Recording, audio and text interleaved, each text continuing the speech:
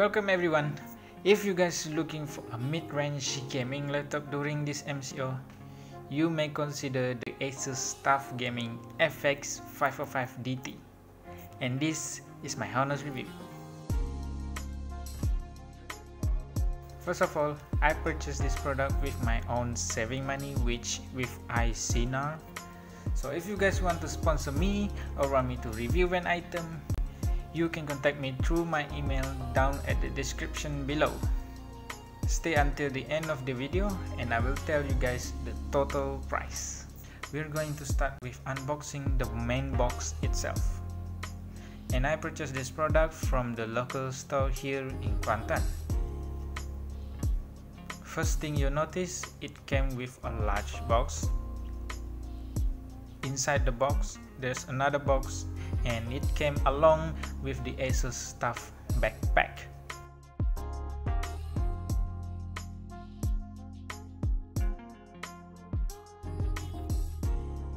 Here is the laptop box and here are the specs as you can see. Inside the box, they give the manual instruction, small screw for 2.5 inch storage and also the 150 watt power adapter. Here comes the laptop. Enough with the unboxing, let's go through the specifications. So the Asus TUF Gaming FX555DT came with an AMD Ryzen 7 3000 series with best speed clocked at 2.5 GHz and can go up until 4 GHz. For the GPU, it's using NVIDIA GTX 1650. It also equipped with 8GB RAM DDR4 SO-DIMM that came straight from the factory. And for the storage, it's using 512GB M.2 SSD. The display of this model is 15.6 inch Full HD anti-glare display with an IPS level and refresh rate at 144 Hz. And for the network and communication, it has Wi-Fi 5 and Bluetooth 5.0 while the total weight of this laptop is 4.85 pounds or 2.2 kilograms. Now, let us see the design and exterior of this laptop.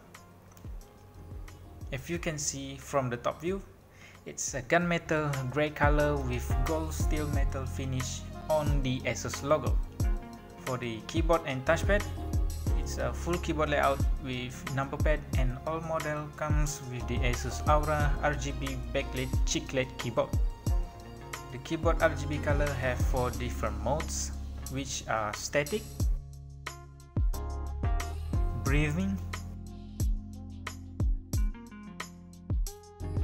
strobing, and color cycle. Color also can be changed into any color using the Armoury Crates apps that has been installed in the system. You notice above the keyboard there's an air vent for the fan cooling system and beside of it has the power button and some indicator lights. The camera is 720p HD and is placed just above the screen.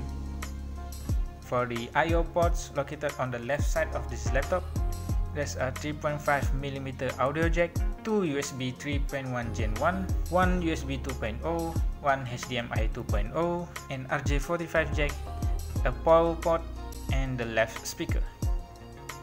While on the right side, there's nothing other than the right speaker and the Kensington lock. At the rear of the laptop, there's an air vent exhaust for cooling system and also there's an two air vents located below the laptop. Finally, let us see inside the motherboard build. To open the bottom cover, unscrew 11 screw along the cover with screwdrivers and just pop up the lid. I do recommend you guys to carefully open the back cover and do not damage any of the electronic parts. Before you even try to open the bottom cover of this laptop, make sure you know what you are doing and find someone that are professional enough and bear in mind that I will not guarantee for your mistakes. Once the lid is removed, you'll see there's two cooling fans together with two heat pipes connected to the GPU and CPU. Below it has two RAM slots which one of the slot has been installed with 8GB RAM and the other one can be added if needed. On the left side below the fan, there's a 512GB M.2 SSD memory stick. Just below it, there's the 48 watt hour battery pack. Beside the battery pack, there's an empty slot for the 2.5 HDD or SSD storage and can be locked using the screw that is given in the box earlier.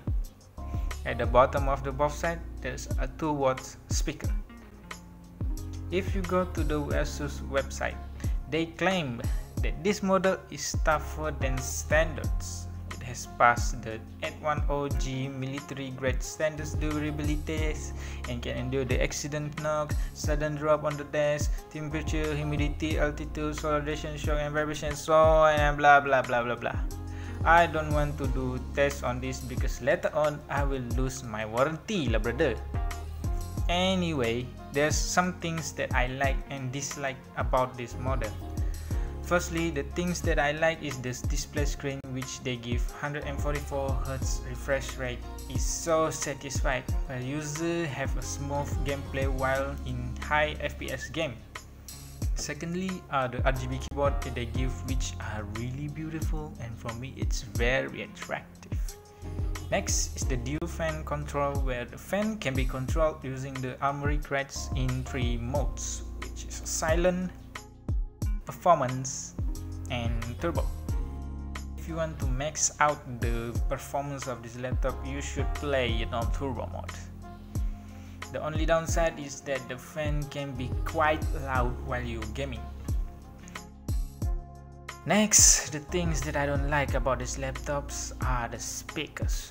To me honestly, the speakers are really upsetting and I can say that my previous laptop has a better speaker than this one. One more thing is that this laptop doesn't have a micro SD slot. Means that you have to use a USB cable or card reader to transfer any videos and photos. Other than that, this laptop performs excellent and it is a good choice for a mid-range gaming laptop. Now the price that I pay for this Asus FX505DT is 3499 ringgit Malaysia and for me during this pandemic this price is acceptable because as the community says nowadays either it's desktop laptop hardware and accessories getting expensive due to the low rate production in the market and that's it my review. Thanks for watching. Ciao lucu